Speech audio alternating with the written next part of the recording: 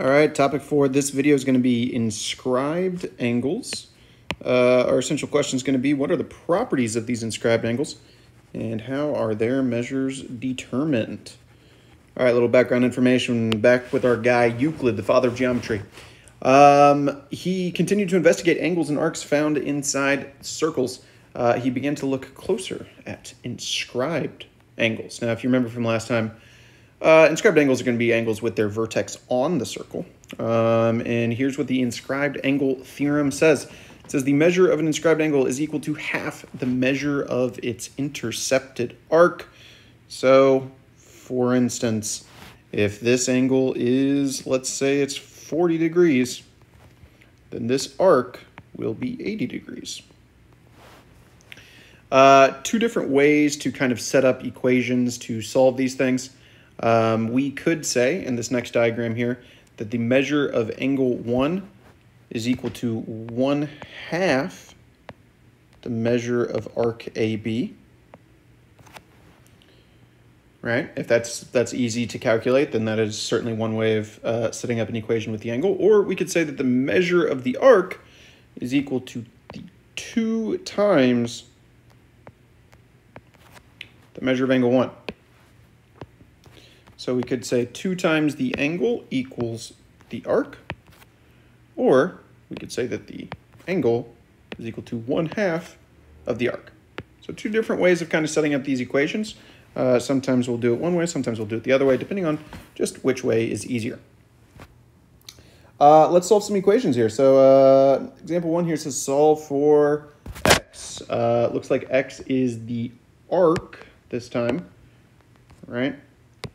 So I think the best way of doing this would be to say that x is equal to 2 times the angle, right? 2 times the angle equals the arc. So in this case, that would be 126.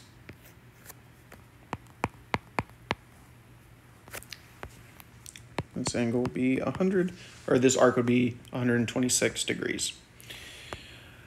Um, this one, x is the angle, right? That's the angle. This is the arc.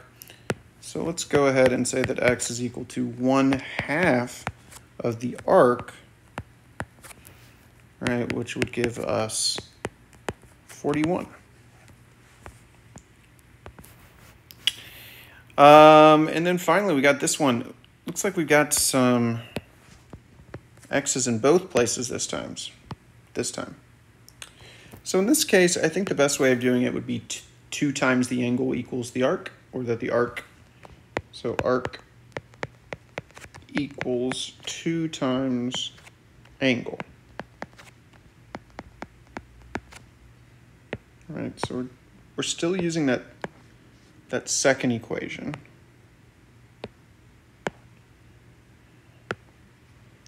The measure of the arc is equal to 2 times the measure of the angle. Now this time we are going to have to distribute. So that'd be 4x plus 44. If I subtract the 4x, I'm going to be left with 3x plus 11 equals 44. If I subtract the 11, I get 3x is equal to 33, so x is 11. Um, let's plug it back in, check to make sure. If I plug it back in, um, 2 times 11 is 22, plus 22 is 44. And then 7 times 11 is 77, plus 11 is 88. So that gets a check mark for there because it does show that the angle is half the arc.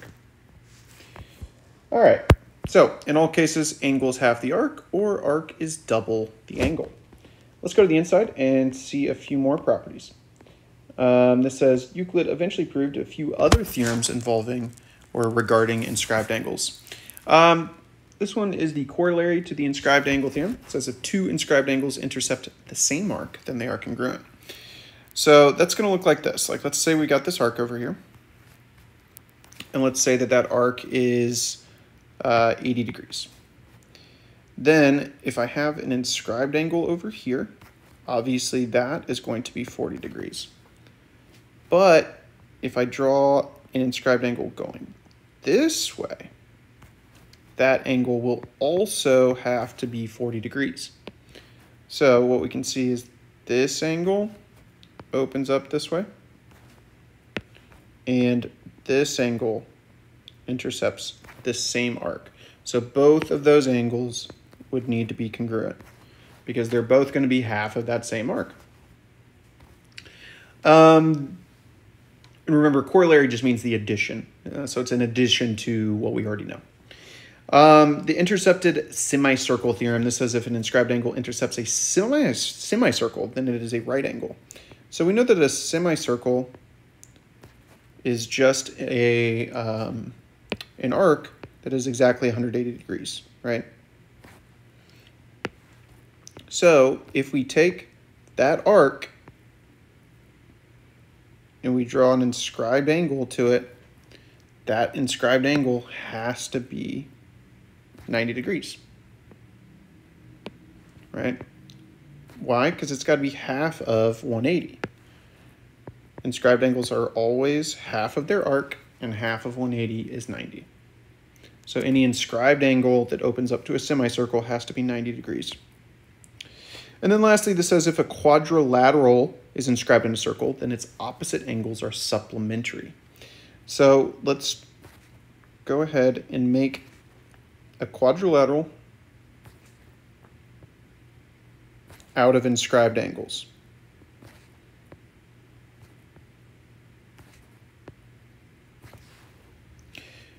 So in this case, what we would know is that those opposite angles are supplementary. So something like this, like maybe this is 110 and this is 70, right?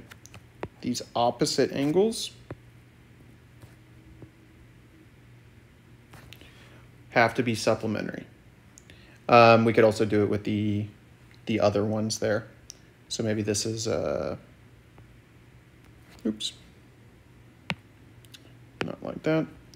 Maybe this one's 95 and this one's 85.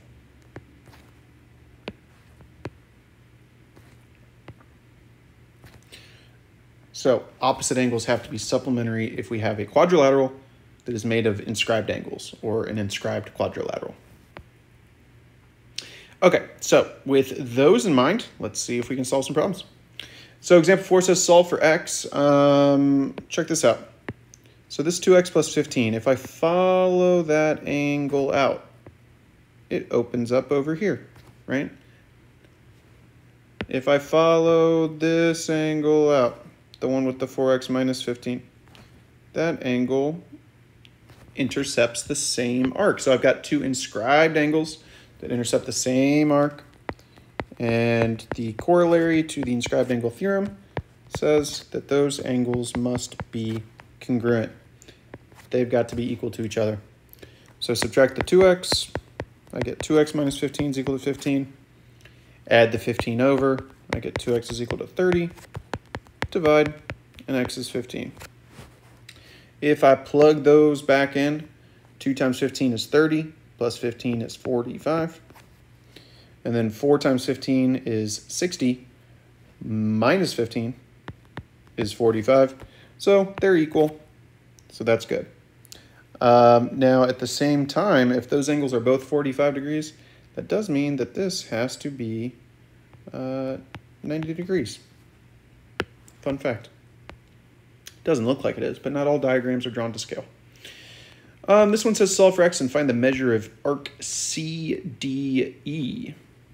Okay, well, this is a, a case of what we were looking at at the last one, where we've got these opposite angles, right? These opposite angles in an inscribed quadrilateral.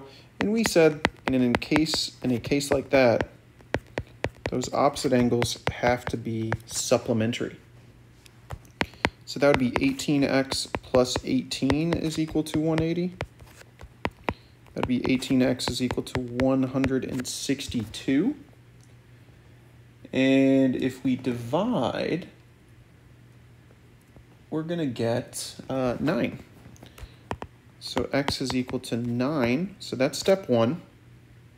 Let's plug that back in, make sure that that works.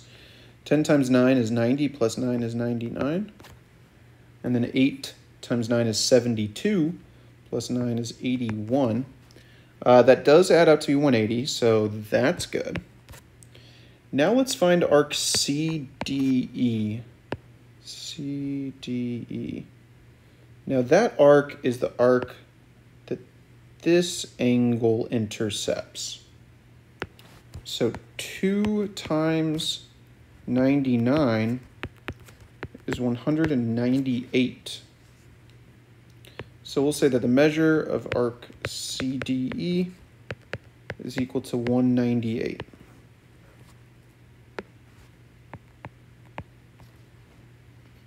If we did it going the other way, if we followed this angle to this arc, 2 times 81 is 162. And 198 plus 162 does equal 360, so everything's groovy. Everything's good. Cool. Let's check out these last ones here. Example 6 says solve for x.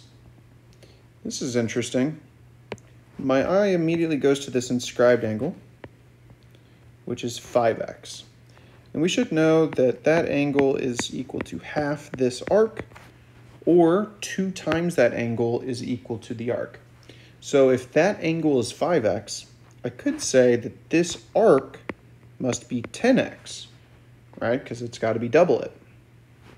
Then, what could I do? Well, now at this point, I have expressions that represent the entirety of the circle. And I should know that the entirety of the circle has to be 360 degrees. So this can be an equation that I could set up to solve. Um, that's going to give me 19x, right? 10 plus 3 plus 6 plus 18 is equal to 360. If I subtract the 18, I get 342.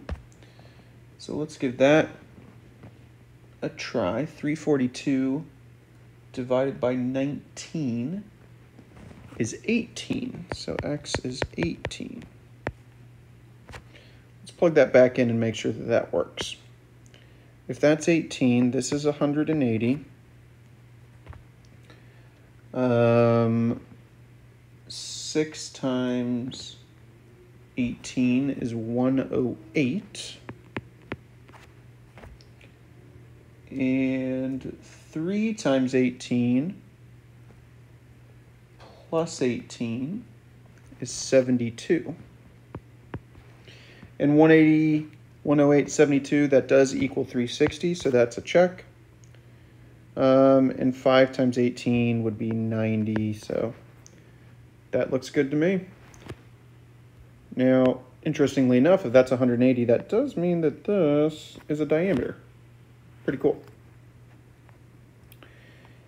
Um, X. Okay. Speaking of diameters, we do have a diameter right here. Uh, that diameter does make this 180 degrees, which means that this is the intercepted diameter theorem, where that 8x plus 2 has to be equal to 90, right? Because if this is 180, that angle's got to be half of it, so that's got to be 90. Subtract the 2, I get 8x is equal to 88, and uh, x is 11.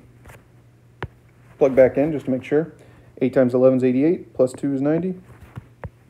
Looks good to me. Um, this last one wants us to solve for x, y, and z. Okay, well, where's x? Let me start there. X is here.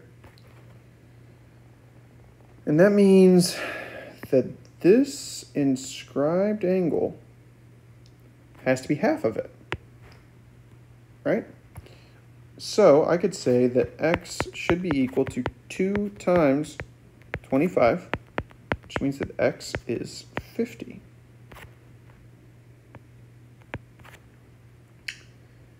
Now, what can we do? Hmm. Well, where's y going? y's over here, and if I follow y, y opens up to z. But I don't know what z is. Interesting. what I'm going to do, I'm actually going to look at uh, this little triangle right here. Now, I know what two of those angles are. I know the 110 and the 25. If I add those together, I get 135. And the triangle sum theorem says that all three angles have to add up to be 180. So let me subtract that, and I'm going to get 45. So this angle is 45. Now that angle also happens to open up to Z, right? It is also an inscribed angle that intercepts arc CD, just like the angle where Y is. So that means that Z has to be equal to 2 times 45, which would be 90. And if this arc is 90, then Y has to be 1 half of 90, which would be 45. Because it too intercepts that same arc, and we know that inscribed angles that intercept the same arc have to be congruent. So that's got to be the same as that 45 that we found. Cool problem. All right, um, I believe it is your turn to try some things out you got a wacky diagram to start off with that you're going to try to figure out what W, X, Y, and Z are. A lot of uh, lot of inscribed angles in that diagram, and even one central angle. Um, then you've got some ones that you're going to try to try to solve with. So give all that a shot. If this diagram looks a little too tricky for you to start off with, and start with some of the other ones. See if you can solve some equations, and then come back and um, check to see how you did by continuing with the video. All right, uh, right away on number one here, we should have said that x was just 94 um, because central angles are always the exact same as the arc that they intercept. So if this is a central angle, then that angle is just 94, or that arc's 94 degrees. Then if I check out where y is, y is an inscribed angle looking at that 94. So y should be 1 half of 94, which is 47. That's not true. I'm sorry. Uh, no. Yeah, that is right. I'm crazy. I doubted myself. Uh, is 47. Um, now, what about z? Looks like z is an inscribed angle going this way. So z should be 1 half of 104, which means that z is 52. And then what about w? w is an inscribed angle going this way. So it should be half of AB, I don't really know what AB is right now. Oh, but I do know what the entire circle is, right? If I add up the 100, the 106, and the 94, that gives me 300. And if the whole circle is 360, subtract the 300 to get 60. So that's what arc AB is. So that means that W must be half of 60, which means that W is 30. Cool problem. Um, what do we got for number two here? Little inscribed angle action. Um, I'm just going to go ahead and do that. The arc for x plus 10 is equal to uh, 2 times the angle. Oops. 2 times the angle, which means that 10x plus 10 is equal to 130. So 10x is equal to 120. So x is 12. Um, for this one, we just got two inscribed angles opening up to the same arc. So we should just set them equal to each other. So 4x is 24, so x should just be 6 on this one. And then this one, well, if that arc is 140. This arc should be 40, right? Since this thing is a semicircle. So then I should be able to say that 2 times 2x, or I'm sorry, let me try that one more time. Let's do that the angle, I'm sorry, the arc is equal to 2 times the angle. So that'd be 40 is equal to 6x plus 14. I subtract the 14, I get um,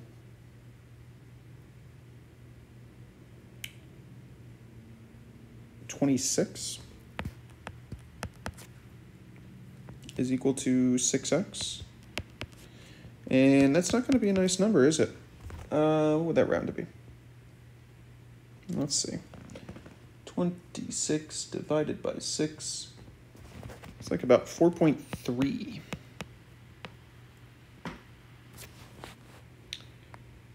Okay. And in this last one, we've got the uh, opposite angles inside a quadrilateral.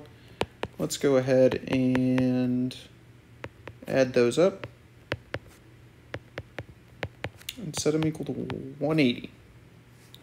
So that'd be 17x plus 10 is equal to 180.